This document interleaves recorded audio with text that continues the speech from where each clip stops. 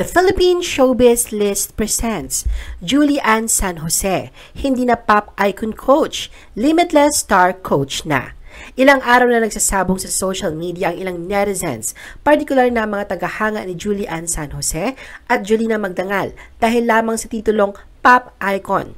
Nagsimula ang issue ng ilabas ng GMA ang titulo para sa mga coach ng The Voice Generations.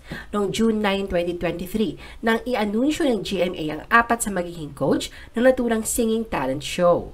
Isa nga si Julie Ann sa pinakilala na tinawag na the Pop Icon Coach. Kasunod niya nito ay ang pag-alma ng mga tagahanga ni Julina.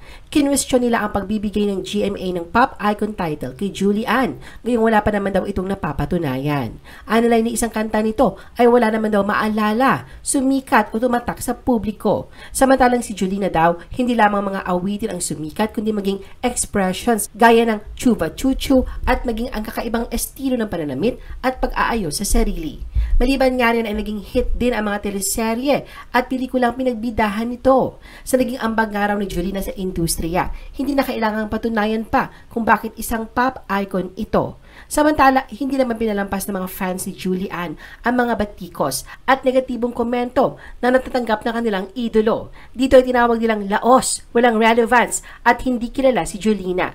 Anilay may karapatan din si Julie Ann na kilalanin bilang pop icon dahil sa maliban sa husay nito bilang isang mga aawit ay hindi din maitatanggi ang galing nito bilang aktres. Masyado raw minamaliit ang kakayahan nito na marami pang kayang ipakita sa ibang larangan. Depensa pa nila na walang inagaw na titulo si Julian. Pareho raw pop icon ang dalawa pero magkaibang dekada nga lang. Dekada 90 daw na maging pop icon si Julina at siya nga ang pop icon noon, pero hindi na ngayon. Pwede naman daw isalin sa iba ang titulo gaya sa mga beauty pageant na every year pa nga nagpapalit ng reyna at may kinokoronahan. Hindi nila maintindihan kung saan ang gagaling ang pangbabash kay Julian.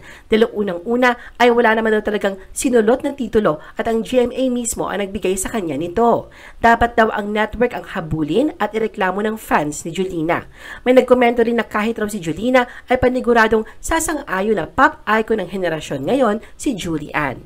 Dahil na rin sa mainit na usaping ito na tila nakaabot na sa pamunuan ng GMA, binawi ng mga ito ang dating titulong binigay nila kay Julian. Mula sa pagiging The Pop Icon Coach, ipinakilala siya ngayon bilang the limitless star coach ng The Voice Generations, nakahalintulad sa bansag sa kanyang Asia's Limitless Star. I-post ang inyong comments at reaction sa baba. At huwag kalimutan na i-like at i-share ang video na ito. Gusto mo pa ba ng ibang showbiz videos? Panoorin ang aming iba pang top viewed videos.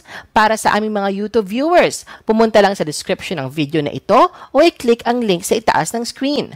Para naman sa mga Facebook viewers, ay maaari ninyong hanapin ang mga link sa comment section ng video. I-follow nyo din kami sa Facebook at mag-subscribe sa aming YouTube channel. Thanks for watching!